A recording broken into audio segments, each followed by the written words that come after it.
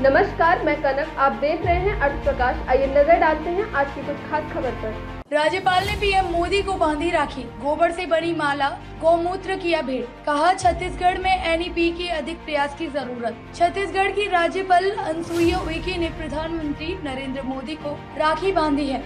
इस दौरान उन्होंने प्रधानमंत्री के दीर्घ आयु की कामना की। राज्यपाल ने प्रधानमंत्री को छत्तीसगढ़ की गौशाला में तैयार गोबर की माला, गौमूत्र और अन्य उत्पाद भेंट किए। मुलाकात के दौरान राज्यपाल ने छत्तीसगढ़ की कानून व्यवस्था और राष्ट्रीय शिक्षा नीति एनईपी का मुद्दा भी उठाया।